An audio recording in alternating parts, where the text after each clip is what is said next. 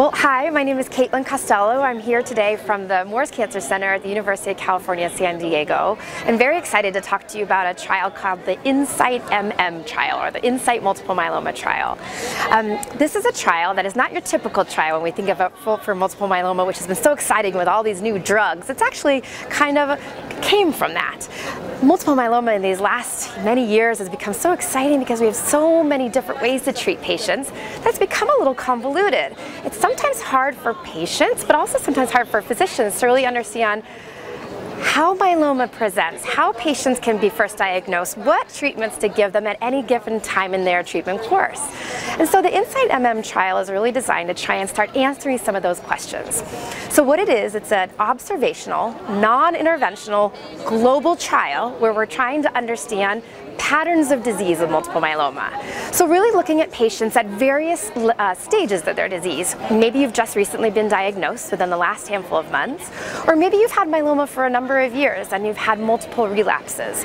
Because the way that um, US, the US versus ex-US or global uh, treatment patterns tend to, tend to vary so much, a study like this gives us an opportunity to understand what the US does, but maybe how our South America counterparts are treating myeloma, or maybe how our European counterparts are treating myeloma, or even how patients in, in Far East Asia are diagnosed with multiple myeloma. So really starting to try and uh, tease through some of the differences of how patients are treated, how your doctor makes a decision about what to treat you with, how your myeloma presented versus someone in a different part of the world did. So really starting to start, really understand the differences. This is a trial that's been open for about a year, and it's designed to recruit approximately 5,000 patients worldwide, which would prove to be one of the biggest observational trials that is out there. Um, so far, after being open for one year, we've recruited about 1,600 patients, but have a long way to go still.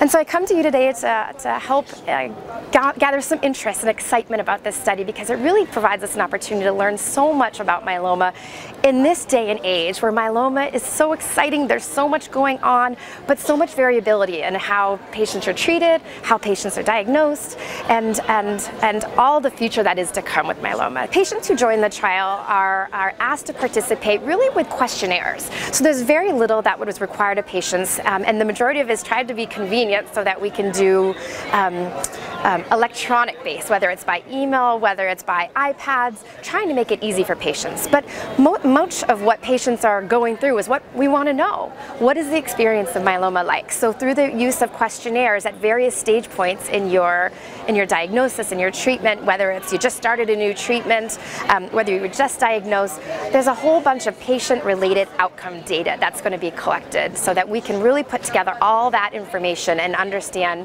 what the patient experience is. So if uh, you can find us on clinicaltrials.gov um, to find participating centers, um, but really it's going to be all questionnaire based, so hopefully won't be too intrusive.